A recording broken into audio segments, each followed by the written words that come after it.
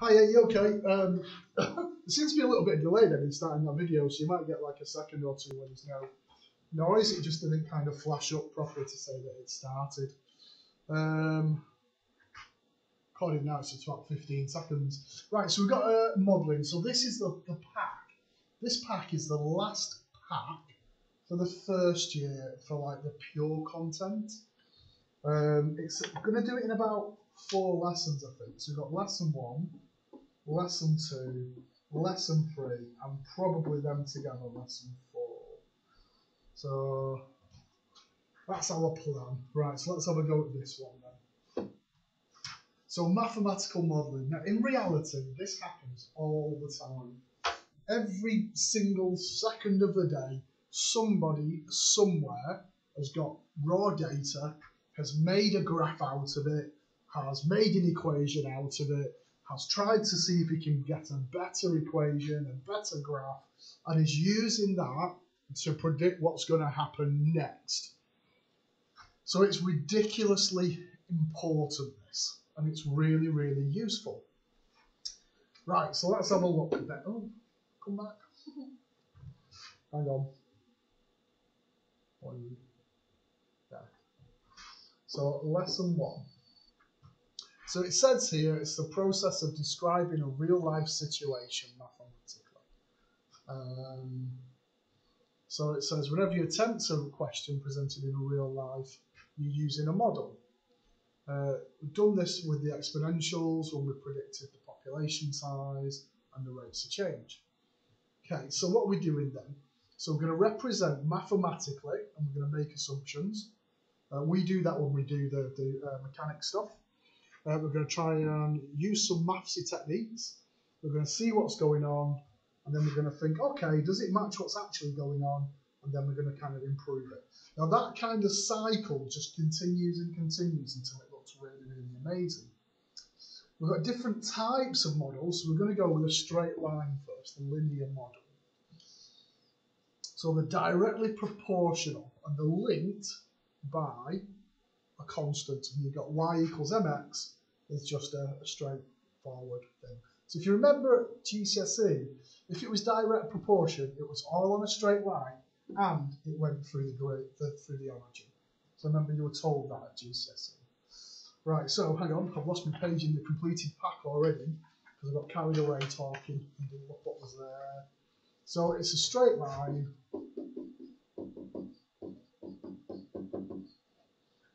passing through the origin. And that's what you were told at GCSE with a gradient of m. So we've got a conversion graph linking kilograms to pounds. So you'll have done this like a, a thousand times. I've seen it in my son's like year eight stuff where they've been drawing graphs and it's like kilos against pounds, uh, stuff like that. So we know that one kilo is roughly 2.2 pounds. And uh, if you did it, remember at GCSE, you put your little lines on, and look, see, look, roughly 2.2. There. Okay. So my equation would be y equals 2.2x. There. So the graph is a straight line through the origin, so approximately how many kilos are there in three pounds? So I'm coming across at three pounds, and going down, so that's what I would have done at GCSE. But really what I want to do is I want to find x when y is 3. So 3 is 2.2x. So 3 over 2.2 uh, is x, which is approximately 1.36 there. Now that's going to be kilos, isn't it? Is x. So that's straightforward, isn't it? That's nice enough. Next! So, right, okay. Interpreting the gradients. So this kind of blows people's minds sometimes. And I've had to teach this in the past on other maths courses. So, whew, so you're often asked two things about the gradients. What are the units? So you look at the y and you look at the x, and it's the y per x, whatever it is. Uh, then you have to interpret it in context. Now the way you do it is say, all right, if I went across one on the x, how much would I go up or go down in the y? And that's what this structure is here. Now you have to follow the structure, both of these structures to make sure it's right. So these are quite important. These, oh, you stop moving around. Uh, per there. There we go. Okay, so we've got the price of a silver rope chains in different lengths i are shown. Something's just fell on the floor. I heard something drop on the floor, but I can't actually see anything. Maybe the roof is going to fall in. You never know. Right, so what two features of the graph indicate that it's directly proportional? So we know it's directly proportional because the first one is it's a straight line.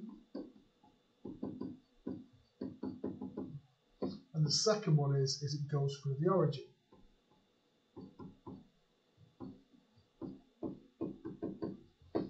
If I haven't got any silver rope chain, I don't have any money, do It's going to cost me out for nothing. Um, so what we got then? So it says write down the price of a chain measuring 10 inches. So what I want is the gradient if I can. Hmm. Know if I can. How can I get that? So if I go up here, I don't know if you can read off, but it's 45 or 4 point. Yeah, that's 10 inches.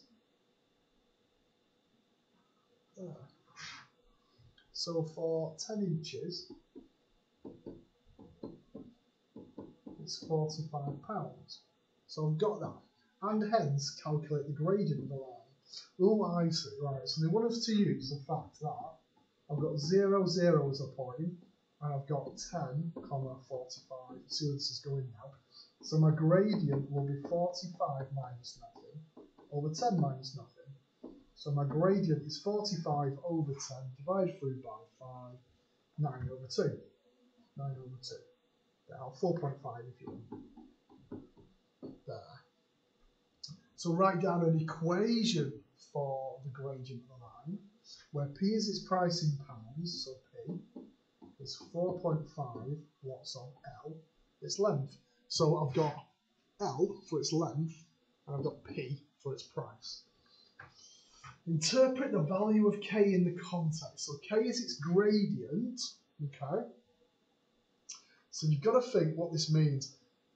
For every inch of the length of the chain, the price goes up by £4.50. That's what I'm saying, aren't I? So for for every let's have a look, make sure I get it right. For every one inch, so that's my unit of x, the y value, so the price increases by £4.50 there. So increases by M units of Y, £4.50. Can you read the £4.50 on my dodgy? Oh, that's nice. Sometimes forget that potentially just using your phone, you can't really see what I'm writing. I'm just going off what I'm saying. There. Right, now it says write down the units. So if you remember, the units are the units of y, which is pounds, per the units of x. So the units are pounds per inch. There. Oh, a question for you. Who doesn't love a question for you? Right, have a go at this one then. So it's an easy extension of a spring and M is the mass on it. So if you haven't got any mass on it, you've got no extension. Let's go that. Come on, delete. oh, excuse me. There you go. So you make sure you've got that right.